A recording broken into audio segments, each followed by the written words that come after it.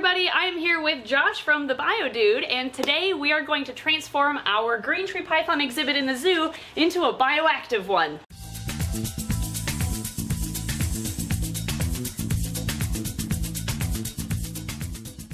I'm really excited for this. I first want to thank Emily and Ed for hosting me here at their beautiful Snake Discovery Zoo and their wonderful store. It's my first time up in up in Minnesota and I'm definitely not going to forget it. And I'm really excited to build for these beautiful green tree pythons and to put a nice layer of substrate in here, to put some nice natural plants in here and to kind of make it pop for these brilliant creatures and I'm really excited for it. We're excited too. We Yeah. can't wait. So what's the plan? What's the first step? So the first step is we need to make sure that we are going to maintain their areas to bask. We know that being an, an arboreal python that they need to have different levels to take in heat Yep. for basic homeostasis. So a lot of the branches in here that that we have in here, I'm actually I'm going to leave them alone. Inside we have a female Merauke, a female Biak, and a male and a female Sorong green tree python. So a nice variety of whites, greens, and blues. Of the different localities. And I think that's one reason I love Chondro so much is because they're all different. All right, so I guess the first thing we'll have to do is take them out. Yes, we gotta get these guys removed. We're gonna take some of the stuff out of this enclosure and then, and then we get to build. All right. Yeah, let's do it. Awesome. Thank you.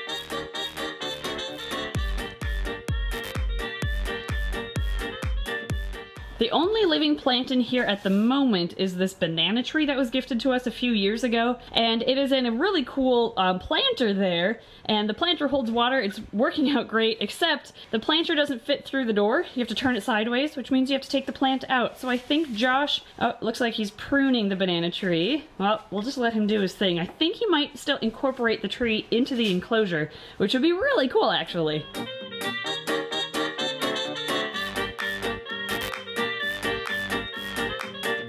How good's the soil?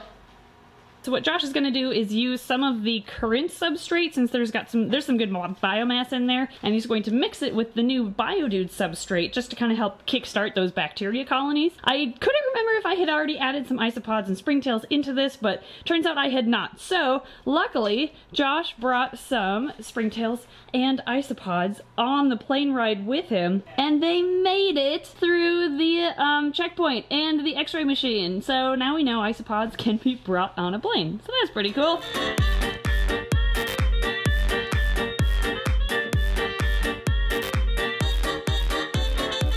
What are you adding now? Okay, so essentially what I'm adding is, is I got a lot of this, I got some of the old substrate removed. I'm leaving about a half of an inch layer. Um, some of it was pretty wet to the point when I was squeezing it and a bunch of water was dripping. So that's the substrate that I removed. With the rest, I'm going to use the jump start. So what I'm adding in now is my is the BioShot. So um, the BioShot is essentially um, endo and ecto mycorrhizae uh, that we're going to be putting into the terrarium, which is going to form your symbiotic relationships with your plant roots. So essentially what I'm doing is I'm dumping in the BioShot into the base layer here. And then once I add in all of my terra firma and my other biodegradables, I'm going to be mixing it all together.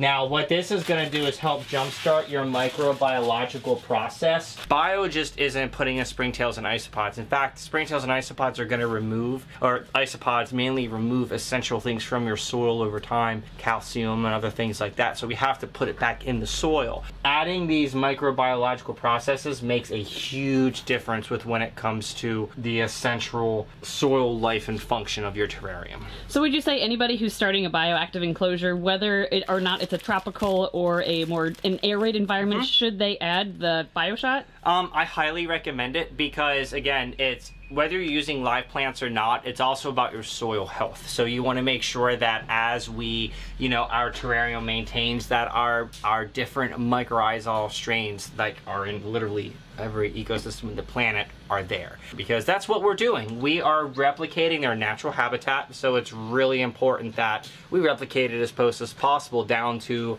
the biological cycles that happen in their substrate because we know how important substrate is when it comes to reptile keeping. It helps with shedding, it helps with humidity, it helps with respiration, and it helps with hydration. Here are the awesome live plants that the BioDude sent up here for this project. I wish I knew more about plants. Haley would probably know more than I do about what all these are called, but that's a plant, and that's a plant, and that's, a plant. too. There we go, we've got some beautiful plants here today. Yeah, I think that'll that'll work because then they'd have several horizontal branches to sit on, and it would be right underneath that heat panel. It's just getting this mounted on the side. Yeah, we'll have to we'll have to screw that into the back. I think that would work though.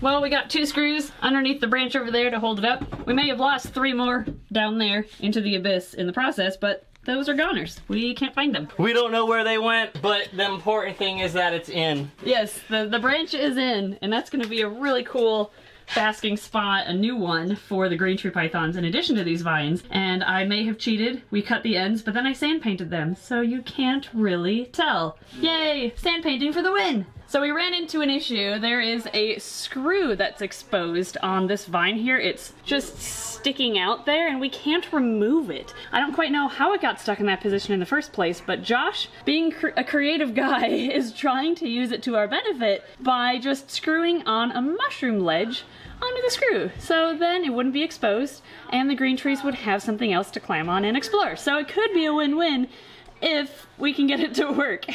Okay, New plan, we are going to drill a hole in the base of this mushroom ledge, then put a little bit of silicone in the hole, and then slide it onto the screw and it should stay put forever and ever and ever.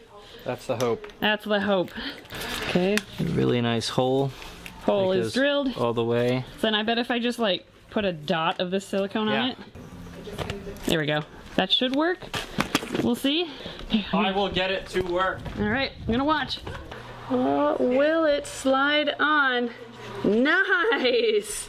That is perfect! All right, with that screw taken care of now, we are going to work, well, we as in Josh, is going to work on the substrate, right? Yep. So what, guys, what I'm going to be doing is I'm going to be putting in the Terra Sahara or the Terra Firma substrate here at the bottom, mixed in with some different biodegradables. So we're going to be using uh, sycamore bark, paperback bark, cork bark pieces to help create those uh, bacterial hotspots in the soil because we're going to be using a lot of soil in here. So essentially, what I'm going to be doing is getting in the biodegradables and getting in the substrate, getting it all mixed up, and then we get to building. Really Yay! excited. Then the plants! Yeah. Then the plants.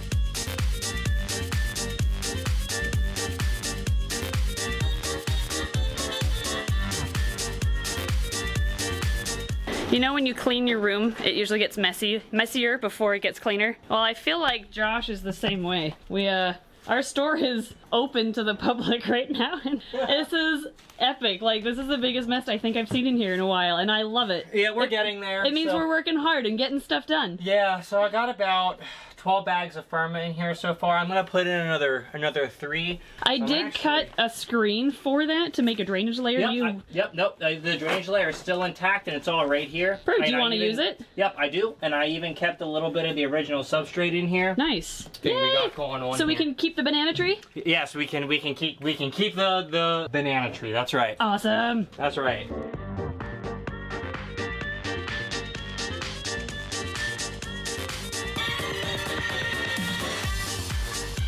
All right, what's next? I got a whole mixture here. We got some dairy cows, some orange and blue Pruinosus. We love our isopods here. Yes, we so- do. So I'm trying to hit every layer here. So the larger species are gonna be really tailored around the top layer in the wood, and then the bottom you can see some bunch of dwarf whites in here. The dwarf whites are gonna be concentrated in the middle and bottom layers. So we have all aspects covered. And then I also brought some uh, pink springtails. Pink springtails? Yeah, they're tro- they're called tropical pinks. That's awesome. There's not that many in here, but again, I think there was a little bit in there, but we could always add as we go. Yeah, So yeah, for ahead, sure. I'm gonna dump them in real quick. Okay. Oh my gosh, this is looking amazing. There's even like natural seed pods and hulls in here, which really helps tie it all together. Oh, and here go the bugs. Go free! Hooray! We have isopods and springtails in here now. It really is a little slice of the jungle. That is super cool. And here we are with the completed bioactive enclosure. I love it. It turned out great. You know, we put a bunch of bugs in here. Uh, we're gonna be adding in more springtails, you know, as we progress. But really, what I like about it is we found the balance. Yeah, and it- it's a tough balance in a zoo type setting to have the animals feel comfortable Yeah. and feel secure, but also them being exp- or not exposed, but being visible to the public. Yeah. And I think having the combination of the foliage as well as the exposed branches will allow the chondros or green tree pythons, also called chondro pythons for anyone who doesn't know. I'm so bad I always call them conjure. yeah, either one works. Yeah. But having these exposed branches will allow them to feel comfortable, and then they're bam, they're gonna be right there. Yep. So you did a fantastic job Thank you so much. balancing all of this. Um, the most important thing about this is that every single branch in here and everything attached to the wall is secured. So we'll have to see this in like a month to six weeks from now to Yeah. see where all the plants are at and how they're interacting and settling in. I, uh, I'm really, I'm really excited for it. Let's add the grain tree pythons. Okay, let's do it. Here's the back view of the enclosure. It's just full of foliage and great perches for them. So we're gonna put them in. Here are the, oh, this is our Merauke that we got from a Tinley show. This is our Sorong that was actually given to us. Or no, we bought her from someone who was rehoming her. But this is Lucy. I don't think you've officially. Look at that blue. Yeah, isn't she, pretty? stunning. Yeah, she has some nice blue colors. She's actually really friendly too for a green tree. So here you go. Check out your new home. Well, new renovated home. Next, we'll put the Merauke in. You can chill up here. How about that? Here is our male Sorong actually. Came from a really good breeder in Eastern Wisconsin, actually. So he is all over the ladies lately. He's actually, uh, surprise to the channel and everyone watching, he has officially locked up with several of our females. So we might actually get baby green tree pythons here soon. That would be great. Wouldn't it? Yeah. We've been noticing a lot of breeding behavior in the zoo. I think because the animals have such big enclosures, and we tried to do naturalistic enclosures, and I think they're really starting to show us that they appreciate it by breeding. There you go. And last but not least, Dolores. Dolores looks very unhappy. Yep, she got halfway through a shed. Oh dear. Do you want me to get her? Oh, oh really, Dolores? She's like, I disagree. She's a Biak. That's what they do. Yep. Yep. Dolores is Dolores, and I still love her spotting. yeah, she's It's still. so random. She was like halfway through a shed, and then we interrupted to offer her food, and then she stopped shedding and refused to finish. So, yeah, Dolores, you are a troublesome child. So let's put you in. All right, close the door. We're gonna see what they look like from the uh, customer's point of view. Woo! it's done. It's done. Oh my oh gosh. my goodness! Look at look at that one. Oh. Oh, that pose there is great. Yes. I think what I love about green tree pythons the most is how incredibly strong they are. Yeah, for being a lankier snake, they are incredibly strong. Yes, and like he is just Just that pose right there is great. Chilling like a villain. Well, I'm gonna give them a few minutes, I guess, to settle in, and then we'll see where they end up. Awesome. Rex, we have a new green tree python exhibit. It's super pretty, and Ed hasn't seen it yet. So, Ed, Ed, Ed, What? you playing with monkey tail skinks? Trying to fix the one that's trying to bake himself in the. Oh, Uh, he really likes the UVB grate, he though. He doesn't need to be that high though. Come Yeah, good luck taking him down. Come on. Okay, crisis avoided. I got bit. The uh, monkey tail is down. Oh, I feel so bad for you. Yeah, it's a monkey tail. You risk that when you pick them up. Okay, come check out the green tree python enclosure. Here, close your eyes. Take my hand.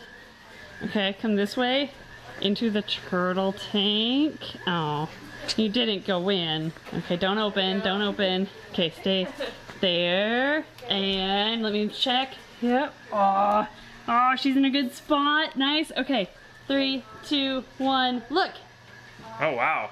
Yeah. That looks really nice. Yeah, it's a good balance, I think, between live plants and branches and the uh, splashes of orchids, too. Hmm, I like the splashes of live plants now. Yeah, he was able to uh, root some onto the side, or start uh, attaching some on the side so they would take root.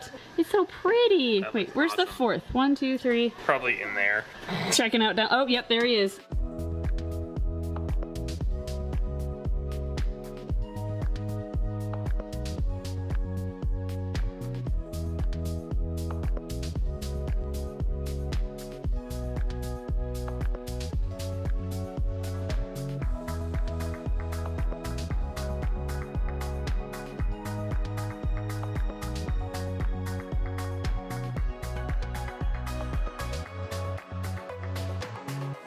So, Josh, in a nutshell, what Biodude products did you put into this today? Okay, There so were a lot of boxes. I know. So for starters, we started with my terra firma. Then we mixed it with my biodegradables sphagnum moss, with the paperback bark, sycamore bark, my bioshot, tropical springtails, orange, blue Pruinosus, dairy cow isopods. For the wood, we used my cork bark branches. We used cork bark flats. As far as the nut pods, we used assorted lotus pods, bur oak seed pods, ram's head pods. And then for plants, we used philodendrons, stromanthes, creeping fig, neanthe bella palm, uh, schefflera tree, some live sheet moss, a rattlesnake vine, snake plant, and uh, the epiphyte up there is a staghorn fern. The conjurers seem to be enjoying them. I'm enjoying this because they are loving this enclosure. And Emily, I really can't thank you enough for giving BioDude the opportunity to come here and have and and have a part in your really special